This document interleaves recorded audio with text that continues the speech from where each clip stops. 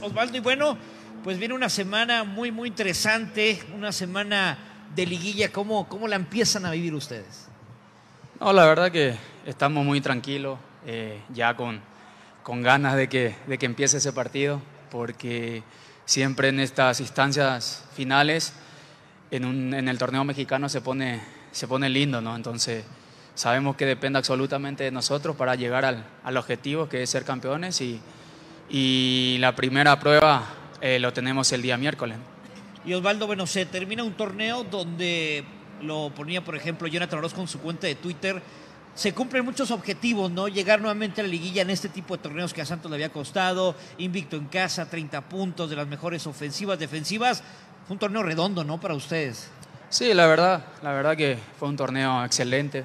Eh, más bien diría yo, porque yo sé que el torneo pasado quedamos campeones, fueron varios compañeros y, y tal vez la afición, eh, muchos medios no confiaban en, en, el equipo, muchos hablaban de que, de que este, este equipo se iba a ir a pique y la verdad que eh, fue todo lo contrario, ¿no? Eh, agarramos esa, esa responsabilidad de, de querer y esa ambición de querer ganar eh, más títulos con el, con el equipo, eh, ganar más partidos, que fue fundamental y, y la verdad que estamos eh, contentos por eso, ¿no? Eh, contentos con nosotros mismos, con el accionar del equipo y, y también el apoyo creo que de la gente siempre fue fundamental para que el equipo agarre más confianza. Bien lo mencionas, eh, bueno, mucha gente igual y no creía en el equipo y el panorama al inicio del torneo no se veía tan fácil porque, bueno, salieron jugadores importantes, tuvimos el cambio de, cuerpo técnico y, bueno, siempre también se menciona la famosa campeonitis, pero bueno, sucedió todo lo contrario. ¿A qué se lo atribuyes? No, yo creo que a la responsabilidad, primeramente, y el compañerismo que tenemos en este plantel porque yo creo que desde que, desde que empezó este torneo, en ningún momento nosotros hablamos de, que fuimos campeones, ¿no? Eh, ya eso, eso queda, quedó en el pasado, desde la primera fecha. Eh, el objetivo primordial era eh, tra tratar de mantener digamos, esa racha ganadora, ese hambre de, querer ganar más títulos, de querer ganar más partidos, de, de, quedar en la historia de una institución como Santos Laguna y, y yo creo que eso fue fundamental. Eh, y también creo que estuvo, estuvo también el, el hecho de que el cuerpo técnico que, que estuvo y, y, el de ahora, el actual, eh, nos metió en la cabeza de que somos un equipo eh, de que somos un equipo grande y yo creo que lo demostramos dentro de la cancha eh, partido tras partido.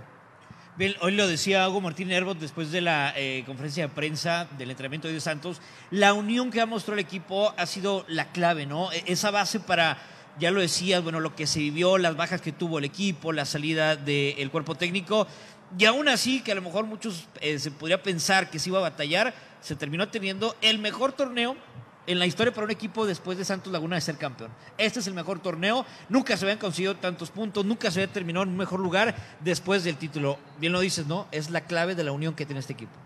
Sí, yo coincido con Martín, la verdad, y coincido con varios de mis compañeros, ¿no? Que, que a lo largo del torneo han mencionado el compañerismo, la unión que hay en este, en este plantel. Juegue quien juegue, eh, obviamente siempre va a ser decisión de, de, del entrenador. Entonces yo creo que los que están jugando y los que jugaron y los que, los que están en la espera eh, están con muchas ganas de, de, llegar nuevamente al título. Así que nosotros tenemos que meternos en la cabeza de que somos un gran equipo. Eh, vamos a jugarle de igual a igual a cualquier equipo. Eh, nosotros el compañerismo que tenemos dentro de la cancha de correr por cada compañero no lo es solamente de este torneo, sino que de, ya de dos, dos torneos atrás. Eh, obviamente yo creo que lo, solamente ahora coincidimos con los resultados buenos que, que nos han tocado, pero creo que somos conscientes ¿no? de que las cosas lo estamos haciendo bastante bien y, y hay que seguir por ese camino. Y yéndonos al partido del día de ayer ahí en Ciudad Universitaria, ¿qué sensaciones deja ese partido? ¿Los deja contentos? ¿Los deja con esa sensación de que obviamente Santos lo pudo haber ganado el encuentro? No, nos, quedamos con ese sabor de que podíamos haber ganado el partido, ¿no? porque creo que fuimos superior en, lo largo de los 90 minutos, eh, mantuvimos eh, la posesión de balón, cosa que a este equipo eh, le ha costado mucho por el simple hecho que somos muy verticales, ¿no? entonces somos un equipo muy ofensivo, si te das cuenta somos el, el, equipo que más ha hecho gol en el torneo, entonces creo que eso eso habla de que, de que las cosas lo estamos haciendo bastante bien en ofensiva y también defensivamente, ¿no? porque creo que nos quedamos con ese saborcito de, la verdad, de, de, querer, de querer haber ganado ese partido, pero lastimosamente eh, en, una, en un error que siempre puede pasar y creo que con ese gol nos empataron ellos. Sí, bueno, lo, importante es que Santos se mantiene ¿no? entre los primeros cuatro. Y también, bueno, una pena lo, de Javier Cortés, ¿no? También, bueno, será ahí dedicarle a usted, ¿no? Sus, sus partidos de liguilla. No, claro que sí. Eh, de hecho, ahora mismo anda, anda en quirófano porque la 7 eh, iba a entrar a la operación. Acá, desde acá, mandarle mucha fuerza, mucho ánimo, que, que todo salga bien. Eh, él lo sabe que es mi compañero de habitación y sabe que lo, queremos mucho, lo aprecio, lo aprecio mucho y, le deseo lo mejor para su recuperación y que esta liguilla va a estar, va a estar dedicado a él, tanto también a Deiner que, que también sufrió una lesión y, y, saber de que este es un, es un plantel, juegue quien juegue y, quien, a quien no le toque es, es parte del equipo. ¿no? ¿Y ahora quién, quién te va a acompañar en la concentración? siempre, me, siempre me toca cuando no está, no está Javier, siempre me toca huevo. bueno, ya tienes otro compañero más. Y bueno, pues ya regresan de, la última jornada, cambian de chip totalmente para meterse en la liguilla apenas y van a estar dos días en la ciudad de Torreón porque mañana entrenan, viajan a la ciudad de Monterrey. ¿Cómo ves este rival? No, complicado, complicado. Como los, los siete que entraron a liguilla son complicados. Como, como sabemos siempre, el fútbol mexicano, eh, entre quien entre en la liguilla, siempre siempre va a ser eh, un rival a vencer, porque todos los equipos se han preparado para lo que es la liguilla y, creo que se vienen buenos duelos, ¿no? Y creo que para nosotros el más importante es pensar en Monterrey el día miércoles, en tratar de ir a, hacer un partido inteligente, estar bien concentrado. Sabemos que es un equipo eh, muy dinámico, de media cancha para arriba eh, son muy letales, entonces eso creo que va a depender mucho el trabajo defensivo que podamos tener tanto nosotros como los lo defensa y, y, traer una buena ventaja, ¿no? que eso va a ser importantísimo, eh, mantener el arco en cero, que, que también es fundamental y, y, saber que son, son dos partidos 90 minutos, no, no volvernos locos eh, el día miércoles y, y saber que estamos nosotros y jugar a lo que nosotros sabemos, ¿no? que, que es tratar de tener mucha posesión de balón, eh, aprovechar las ocasiones que podamos tener. Te tocó vivirlo eh, en ambos lados, Osvaldo. ¿Por qué crees que a Santos le ha costado ir a jugar frente a Rayados? ¿no? Se ha ido a la cancha de Tigres, se le ha ganado, pero esta cancha le ha costado a Santos. ¿no? Son ya varios años que no se ha podido ganar. ¿Por qué crees que quizá esta cancha es la que más le pesa a Santos? No sé, la verdad, porque Creo que también tiene mucho que ver las condiciones de la cancha, ¿no? porque últimamente los partidos que nos ha tocado jugar ahí, eh, la cancha no está en buenas condiciones y creo que este equipo eh, siempre juega por abajo, siempre intenta eh, salir de nuestro arco y, creo que eso ayuda, ayuda bastante, ¿no? pero sé que eso tampoco sirve de excusa, pero esperemos ¿no? que, que, el día miércoles podamos hacer el mejor partido que, que podamos tener todos y, y, y, tratar de traer una buena ventaja. Y creo que eh, para el miércoles creo que estaba viendo ya pronóstico de lluvia, eh, creo. ¿Ah, esperemos que no caiga otro torrencial aguacero como le, le ha tocado a Santos en estas últimas visitas que bien, bien lo recuerdas. Y, y, en esta época, Osvaldo, ¿qué tanto cambia? ¿Qué, o ya una vez que entras al terreno de juego, que empiezas a jugar, pero el frío, eh, ¿sí es un factor el frío? No, una vez que, que, ya entras en calor, yo creo que ya, ya te olvidas de todo, ¿no? Y también la gana, la ansiedad de, que empiece el partido, eh, yo creo que ese es el, eh, el rival a vencer de nosotros mismos, ¿no? Porque entrar nervioso, entrar con esa, con esa ansia de querer, digamos, ganar el partido en el primer minuto, creo que no puede jugar una mala pasada, ¿no? Entonces, nosotros lo que tenemos que hacer es lo que, es lo que hicimos todo el torneo, ser un equipo muy paciente, aprovechar las ocasiones que podamos tener y tener posesión de balón, que es lo que nos, ha caracterizado a nosotros en lo largo del torneo eh, pasado y este, y, como te digo, eh, tratar de, estar en el mismo chip todo y, traer buena ventaja. Eh, bueno, pues ya como todos lo sabemos, Monterrey es un rival que no se le puede perder. Y tú lo viviste también del otro lado. Tú estuviste en Rayados. ¿Cómo era enfrentar a Santos? Sí, a mí me tocó todavía eh, jugar en el Estadio Viejo de Santos y la verdad que, que era muy difícil ganarle a Santos Laguna desde que eh, pisé tierras mexicanas, ¿no? porque siempre fue un equipo muy ordenado, un equipo muy complicado, se le complicaba a todos los equipos cuando veníamos a jugar en, en, su casa y, y, ya estando acá te das cuenta ¿no? de que de que es un equipo eh, o una institución más bien que, le, que ha trabajado mucho ¿no? y, tiene, muy, tiene muy buen ojo en, en, traer buenos jugadores y yo creo que esa es la ventaja, ¿no? la responsabilidad que tiene, el, digamos, la obligación que tiene de, de, querer pelear cada torneo, de meterte eso en la cabeza a cada jugador que, que viene llegando y, y la verdad que me, me ha tocado jugar contra Santos Laguna en los anteriores equipos y siempre se ha, hecho complicado, ¿no? Entonces, esperemos que, que, ahora, estando yo de acá, eh, siempre podamos complicar a los equipos que vienen acá y también afuera. Y a ver, para la gente que nos hace el favor de acompañarnos, está fresco el día de hoy. Gracias a todos los que están aquí con nosotros en el TCM. A ver, Osvaldo, tú vas a definir quién se va a llevar esta bonita pues, mochila del equipo de Santos. Dime un número del 1 al 14. El 9. El 9. ¿Quién tiene el número 9? Ah, feliz. Mónica Díaz, ¿quieres de una vez? Pásele. Se acaba de llevar esta bonita mochila del equipo de Santos. Felicidades. También. También el abrazo y todo. Felicidades. Gracias. Gracias por estar aquí con nosotros y ahí tenemos a nuestra primera ganadora, Dani. Así es. Oye, Osvaldo, ¿cuántas liguillas llevas ya más o menos a lo largo de tu carrera?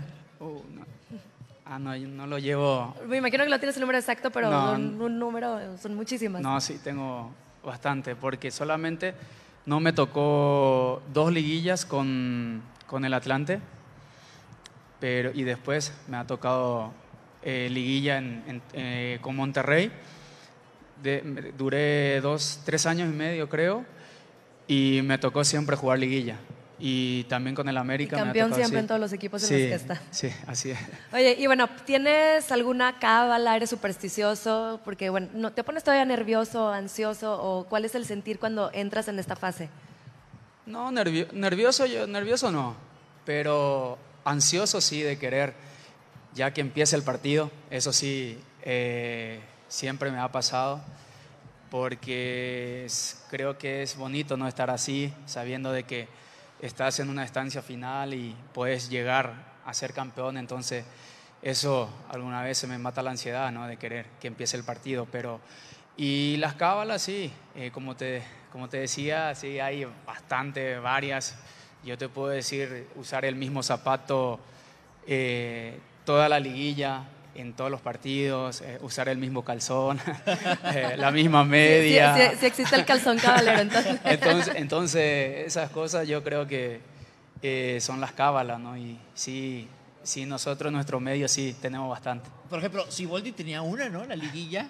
Usaba la, misma, el mismo saco, la misma ¿Qué camisa. ¿Qué recortón eres, Rayonir? Ni cuenta. No, tú sabes, en las redes sociales, ahí apareció, por eso yo me di cuenta, pero bien, bien lo dices, ¿no? O sea, son ya tantos años, tanta experiencia que tienes, pero bueno, de alguna manera existe la ansiedad, por ejemplo, previo a esta última final, podías dormir o pensando qué iba a pasar en el partido. ¿Y cómo se viven esos días entre un partido y otro, que me imagino que debe ser demasiada ansiedad y ya quieres que llegue el día?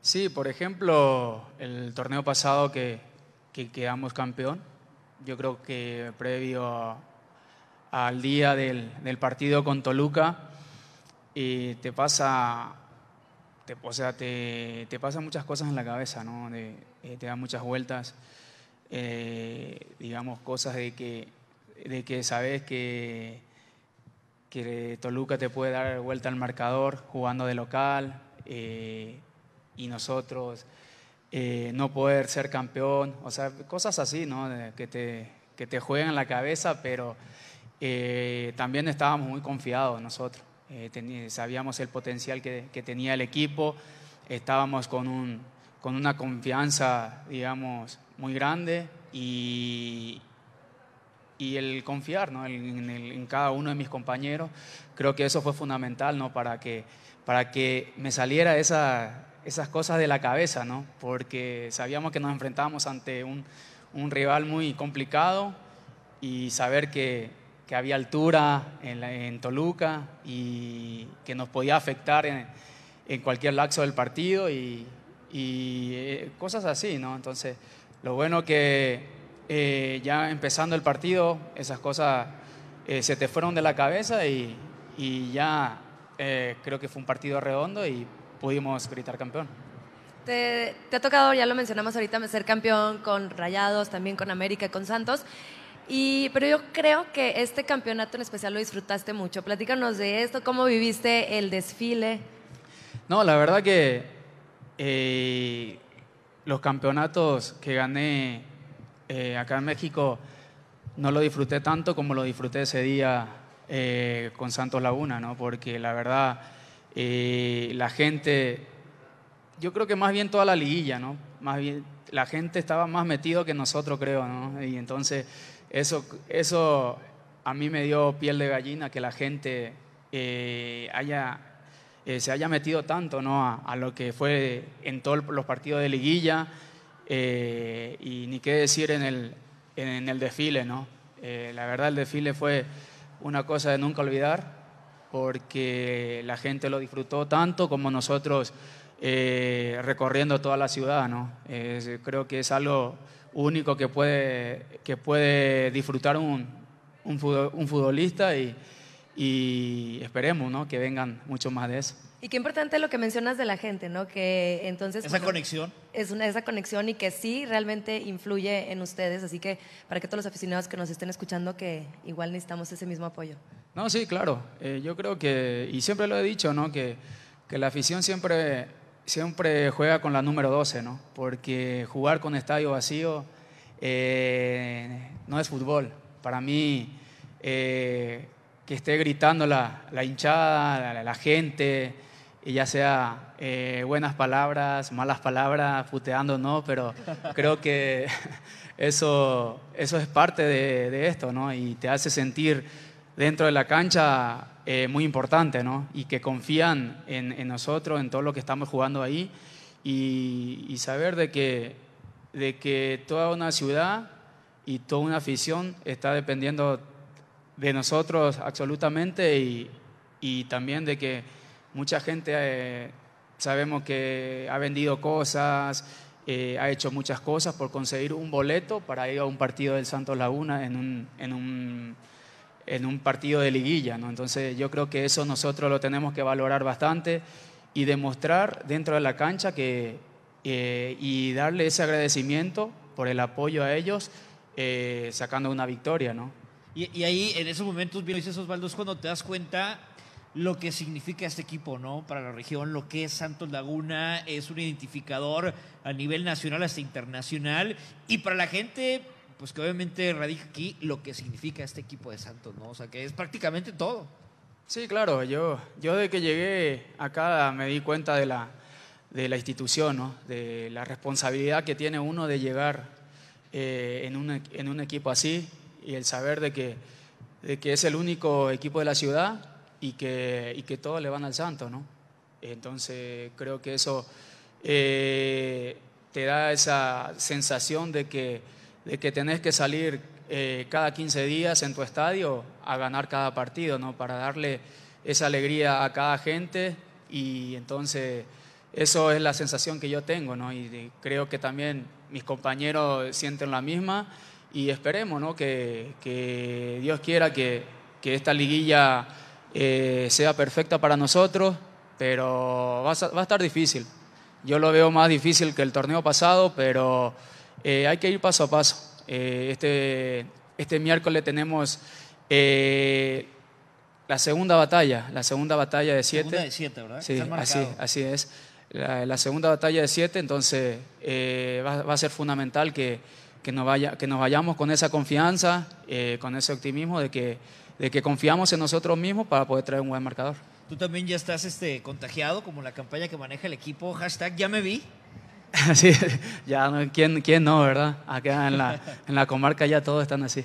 Sí, sí, sí. Eh, que ahorita más adelante estaremos platicando con la, gente de Santos de Mercadotecnia, que, que, se le ocurrió esta campaña, Dani, de, bueno, pues, oye, ya hablar de siete títulos, obviamente el el número romano, el, el, el número siete pues quién no se vio ¿no? en esas circunstancias. Más adelante nos van a estar platicando de esto. Y, y bueno, pues también invitar a la gente a que se sume a la campaña. Osvaldo, tú, eh, bueno, eres uno de los jugadores con más experiencia. ¿Cómo es tu trabajo extra cancha con, con los jugadores jóvenes que ahora hay muchísimos en el equipo?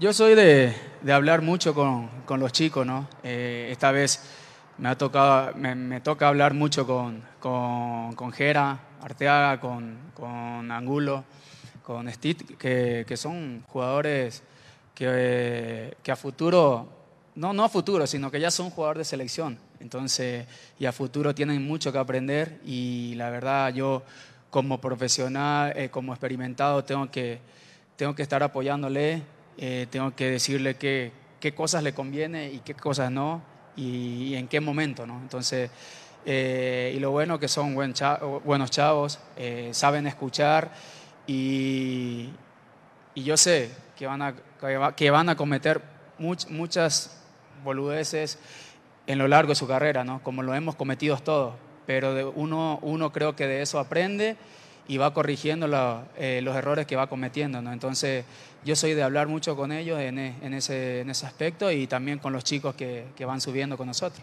Y está con nosotros Carlos Cruz, aquí entrenador de la sub-17. Sí, ¿verdad? Sub-17. Sí, sí, claro que, bueno, van a buscar algo inédito, el tricampeonato en esta categoría. ¿Cómo estás, Carlos? Gracias por acompañarnos. Muchas gracias por la invitación. Muy bien, muy contentos de estar aquí. Y sí, como bien lo dices, pues a buscar el tricampeonato. Muchísimas felicidades. Y, y bueno, pues la verdad es que eh, las fuerzas básicas del club ha, sido, eh, ha tenido excepciones con los chicos que han ganado bueno, el bicampeonato ahora con la sub-17 en busca ya por el tricampeonato. También torneos anteriores fueron campeones eh, durante el mismo torneo, la 17, la 20, ya ha pasado en dos ocasiones consecutivas. Ningún otro equipo lo ha logrado. ¿Qué crees tú que está haciendo bien Fuerzas Básicas del club para lograr todo esto? Yo creo que hay mucha gente que trabaja eh, en el club en la formación integral, ¿no? No solo nosotros como entrenadores, que al final somos eh, la punta de la pirámide, ¿no? De los que estamos trabajando aquí, pero hay un sinnúmero de gente que, que, está a cargo de los muchachos, ¿no? La persona encargada de la Casa Club, de formación integral, hay psicólogas, hay nutriólogas, nutriólogos, hay este, gente en comedor, ¿no? Hay utileros, preparadores físicos, en fin. Ahora se agregó una, una, una etapa nueva que es el trabajo cognitivo-motor, ¿no? El trabajo de técnica individual, que también es un proyecto piloto. No, hay un sinfín de departamentos que están a, alrededor de los jóvenes y que están ahí en, en, busca de su crecimiento y en favor de que este proceso siga mejorando eh, para, que el, para poder nutrir al primer equipo, ¿no? Oye, Carlos, y platícanos cómo, cómo les fue en el torneo regular, cuál fue su posición en la tabla. Cuéntanos un poquito. Sí, mira, nosotros quedamos en octavo lugar. Eh, jugamos el partido ayer justamente contra Pumas. Nos tocó perder 3 a 1. Eh, ya estábamos calificados antes del partido, entonces de alguna forma eh, pues nos confiamos un poquito, la realidad es la lectura del juego, pero bueno, ya ahorita en la liguilla es salir con todo y en el torneo ganamos siete partidos, empatamos cuatro y perdimos seis.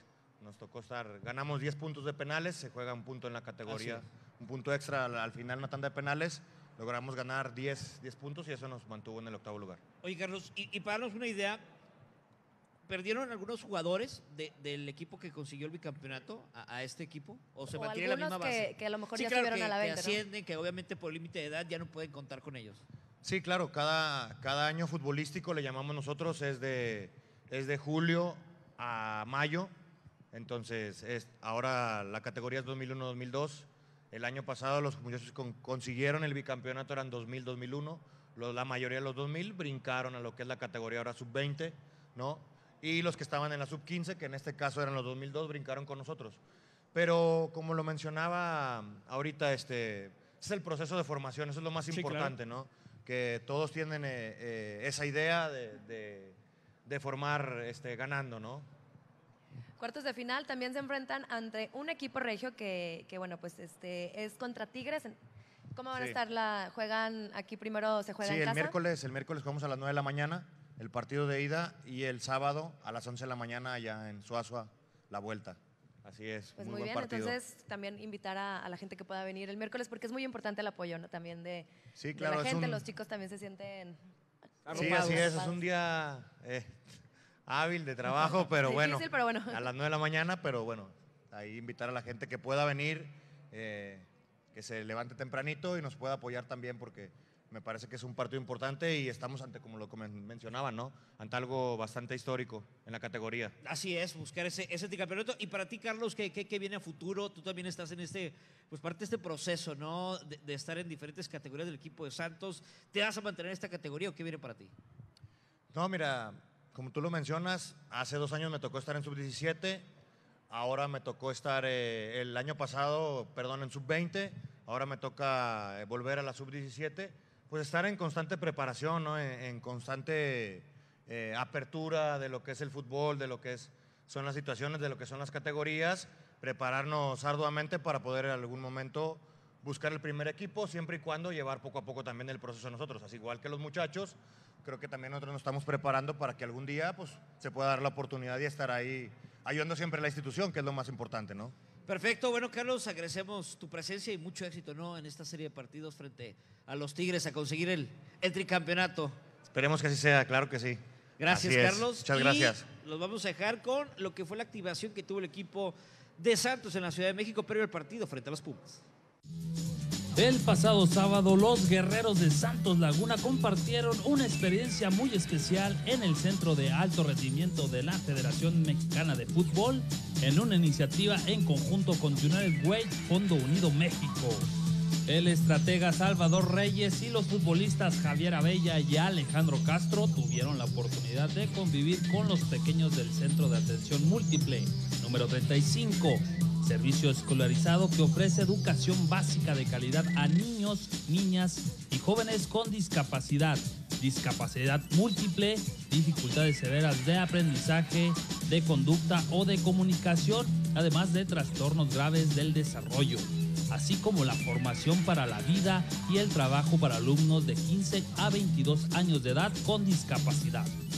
De la misma forma, los tres representantes santistas estrecharon los lazos con los integrantes de las Academias Santos en la capital del país, a quienes les transmitieron los valores y filosofía de la institución verdiblanca.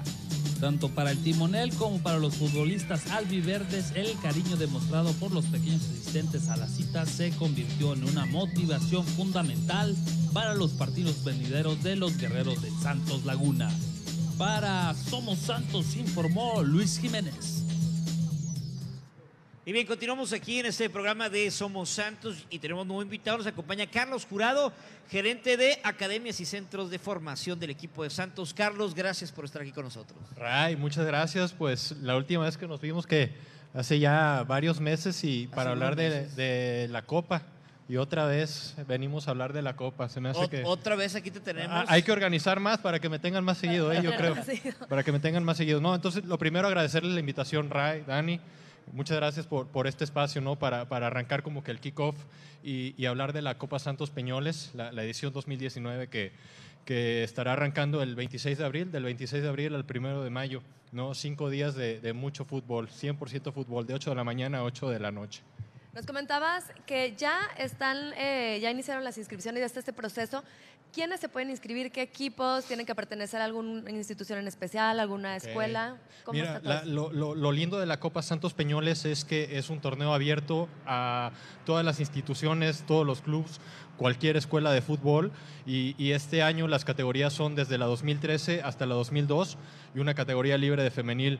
Estamos haciendo muchos esfuerzos este año por incluir una, una categoría de, de niños con discapacidad. Ándale. Entonces es una iniciativa nueva, va de la mano con, con el programa de Guerreros de Corazón y, y es algo que, que queremos agregarle a la, a la Copa Santos Peñoles, que, que ya de por sí genera mucho valor deportivo, queremos que también genere este valor social que es muy importante y va de la mano con todos los esfuerzos que está haciendo la organización. En la edición que tuvieron este 2018, ¿cuántos fueron los equipos que recibieron? Eh, rompimos ahí el números, eh, fueron 240 equipos los que vinieron, eh, cerca de 17 estados de la República, entonces un poquito más del 50% de- del total de los estados que están en la República.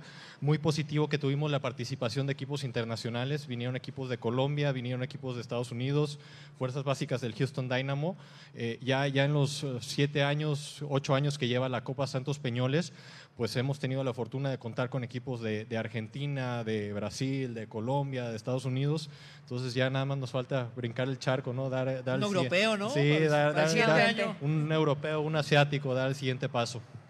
Oye, bueno, pues ya como bien lo mencionas, tiene muchísimos años la Copa Santos Peñoles, es un torneo que se está posicionando poco a poco como uno de los mejores de México. Platícanos en qué consiste, porque, bueno, además de ser un torneo de fútbol, tiene eh, muchísimas cosas muy atractivas para todos los jugadores que vienen. Sí, mira, yo creo que lo primero y lo más atractivo de todo es la, la instalación en donde se juega, ¿no? Territorio Santos Modelo es un recinto como único, ¿no? En, en todo el continente. Entonces, yo creo que ya de por sí ese es el, el- el plus más grande que ofrece el torneo.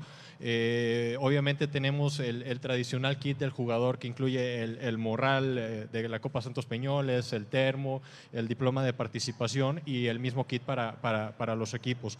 Pero es un plus muy grande jugar dentro de las instalaciones del TCM, jugar en las canchas de entrenamiento de- del- primer equipo y obviamente la inauguración que, que tenemos, esta vez el- el 25 se va a llevar a cabo en la noche.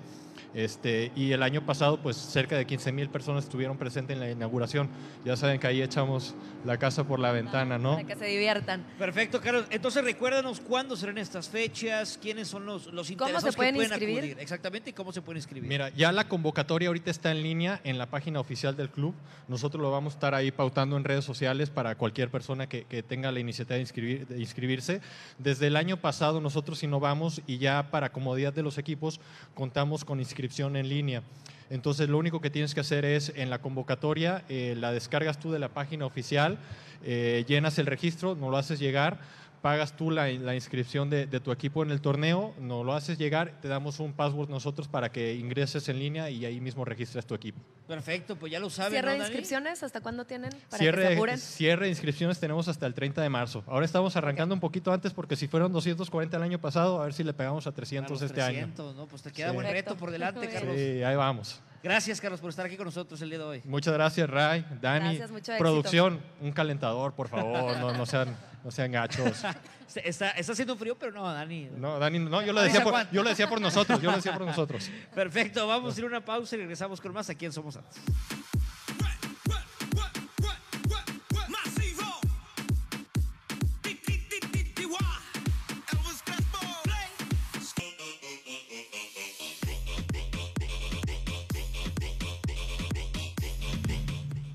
Y el día de hoy hemos tenido muchos invitados. Tenemos uno más, pero antes déjenme recordarles que el pechugón más grande de México cumple 32 años. Celébralo con nosotros y llévate tu pechugón a solo 93 pesos. Un pollo, salsa, tortillas y chilitos toreos a solo 93 pechos. Pechos. Fue por por la mención, ¿verdad? No pidas pollo, pide el pechugón. Está con nosotros Jorge Fernández, director comercial del equipo de Santos. Gracias por estar aquí con nosotros. Jorge. Muchas gracias, Ray. Dani, muchas gracias por la invitación. Bueno, eh, tú en primera instancia vienes a platicarnos de esta campaña que ha empezado, que obviamente tiene pues mucha atención, ha acaparado también eh, el interés de todos aficionados del famoso hashtag Ya me vi. Platícanos, ¿cómo se les ocurrió esta idea? Este, bueno, sí, primero que nada, no es fácil luego que, que pegue rápidamente.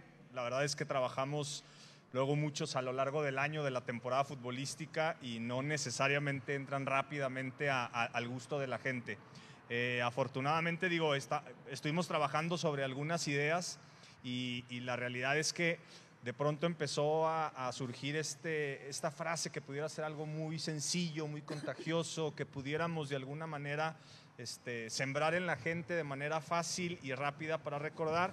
Y surge el Ya me vi este, en una serie de, de idas y venidas de ideas de, de mucha gente al interior y, y, de pronto, pues con este siete romano, pues todo hizo como muchísimo sentido, ¿no? Sí. Eh, mezclamos el bicampeonato con la séptima estrella, entonces como que todo se fue acomodando de manera natural este, y obviamente la aceptación de la gente, sin duda. ¿no? Que, que, al principio era como grande, ¿no? O, o, ¿O, no fue así? Sí, la realidad de las cosas es que empezamos, la campaña oficialmente la, la lanzamos este domingo después del partido de Pumas pero veníamos sembrando este, ah, okay. el hashtag para que la gente empezara como a, a jugar con él, eh, pero la realidad es que estábamos también ahí con ese, si era el B, si era el 7, y total al final decidimos que el 7 además es un número como súper mágico, es como, tiene mucho, mucho fondo en muchísimas cosas en la vida, entonces terminó ganando sin duda el 7 romano y entonces el ya me vi se convirtió fácilmente en, el ganador, ¿no? Jorge, eh, se nos hacía muy importante eh, aquí en el programa que, estuvieras tú porque eh, a lo largo de los programas de todo el torneo nos han estado acompañando personal de diferentes áreas del club explicándonos cómo se trabaja más allá del fútbol, porque hay mucha gente que, que no tiene ni idea de todo el trabajo que hay detrás del equipo. Y, y cómo trabaja tu, tu, equipo para tener estas campañas, estos hashtags tan exitosos, porque bueno, también en la liguilla anterior, 6 se puede. el 6 se puede fue exitoso, incluso bueno, se reconoció a, a, nivel nacional, tuvo menciones como una campaña muy exitosa que, que la gente estuvo replicando durante todo el tiempo. El ya me vi, no se diga, llevamos tres días o dos días que surgió y ya todo el mundo está subiendo sus fotos, todo el mundo ya lo trae en la cabeza. ¿Cómo, cómo trabajan? ¿Cómo son? Eh, realizan juntas creativas? ¿Cómo es el proceso para llegar a esto? Sí, claro. Eh, obviamente hay, mucho, hay mucha gente trabajando, tanto internamente en Santos como agencias externas que nos, que nos ayudan a, a poder este, desarrollar estas ideas. Y obviamente, pues también al final se mete toda la directiva ¿no? a, a, a ver puntos de vista, a opinar, a entender qué cuál puede ser el, el, ese, esa sensibilidad. Yo creo que termina siendo un tema de mucha sensibilidad, de poder lograr eh, ciertas, ciertas frases que puedan ser pegajosas y que la gente pueda, pueda adquirir. Sin duda, eh, son procesos creativos, son muchas juntas, son muchos correos, es ver muchas imágenes, muchas opciones. Este, sin duda, luego, cuando mencionabas ahorita el, el 6 se puede, sin duda también exitosísimo. Sí, claro. La verdad es que la gente lo adoptó muy bien y no es fácil. La realidad es que hay muchas campañas de muchísimas marcas que luego pasan desapercibidas y no es tan fácil eh, lograr de pronto que todo, que todo mundo al mismo tiempo esté pensando en lo mismo, ¿no? Y creemos que gran parte de esto al interior y con todos los equipos que trabajan en esto era cómo lograr esa unión con una simple frase, ¿no? con un simple hashtag, con una frase de campaña, en donde toda la gente se puede unir, se pueda sumar, este, y, creemos muchísimo en que esta vibra, en esta unión que se puede generar este, al, alrededor de eso, sin duda genera una vibra positiva muchísimo, muy importante, que, que, que es lo que genera pues, que puedas lograr cosas importantísimas. ¿no? Y sí, ya claro. lo decía Osvaldo, ¿no? Que también ellos perciben mucho y es bien importante la conexión que ellos tienen con, con, la afición.